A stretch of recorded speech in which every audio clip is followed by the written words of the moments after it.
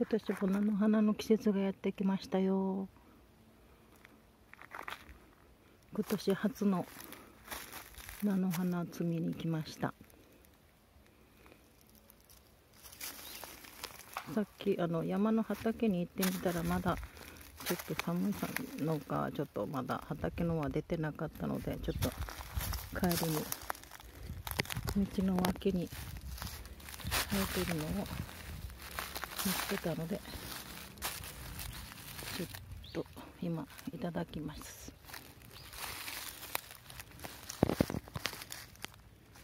あの花ですね。このつぼみはつぼみをいただきます。これですね。それなんかもすごくいいですね。これをいただいて帰って料理を作りたいと思います。また今年も山菜さんよろしく。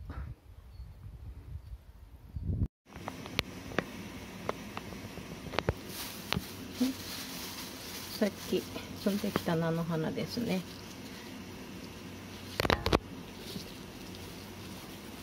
結構たくさん取れましたよ。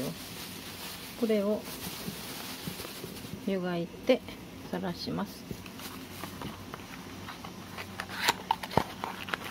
とこれが重曹ですね。炭酸。これを通してるお湯に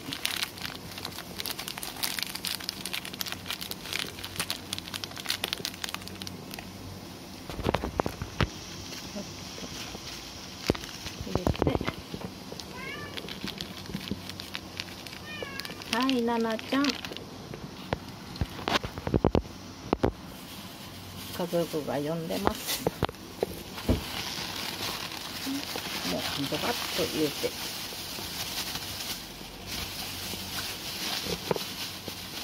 ドバッと入れて。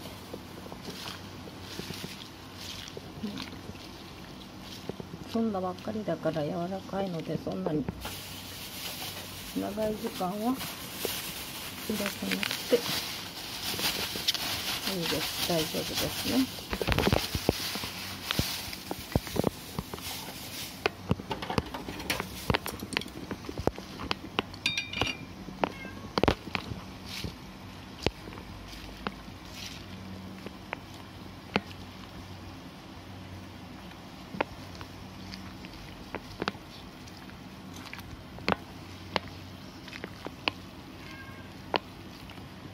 重曹を入れて湯がいたらすごく綺麗な鮮やかな緑になるんですよね。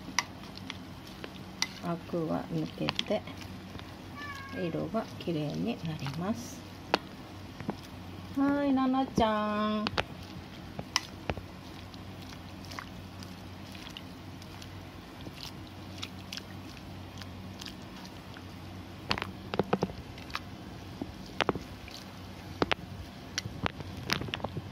いい色ですね。綺麗な色です。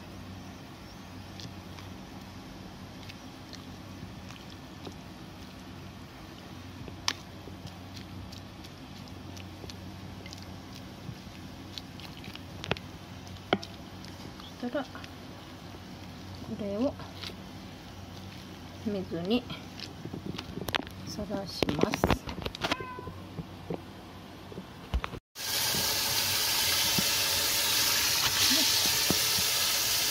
逃げる気持ちといますね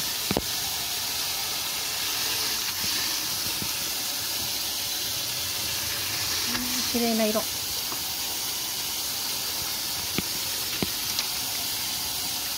のだめのみあの湯がいた汁がこんなに色が出るんですよねこれがアクなんですけどこれが出てたら苦みが強いのできれいに流しますね。しばらく流し水で開きながら流していきます。